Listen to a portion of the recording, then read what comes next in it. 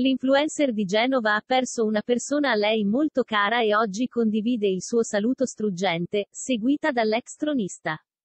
Lutto per Andrea Cerioli e Arianna Cirrincione. Scendendo nel dettaglio, l'ex corteggiatrice piange la morte della nonna Olga. In queste ore lei stessa lo fa sapere con una dedica speciale, dedicata proprio a questa donna, che per lei è stata una roccia. Al suo fianco c'è come sempre Andrea, il quale sui social network mostra il suo sostegno condividendo il messaggio da lei pubblicato. Si sa, i nonni rappresentano un pezzo importante della propria vita e per Arianna ora questo non è di certo un bel momento.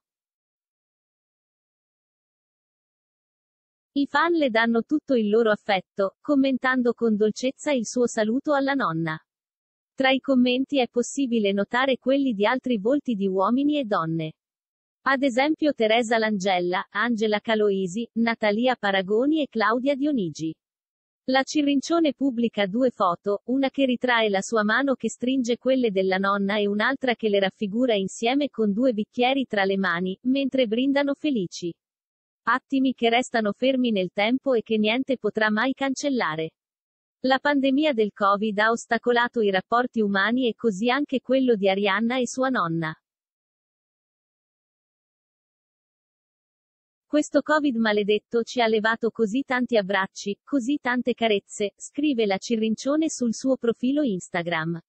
Tra quarantene e le varie misure di sicurezza, questi non sono di certo stati gli anni migliori, per nessuno.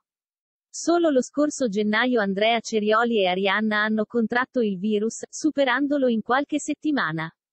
Nonostante il coronavirus abbia generato tanti ostacoli, l'ex corteggiatrice non ha di certo rinunciato ai momenti migliori con sua nonna.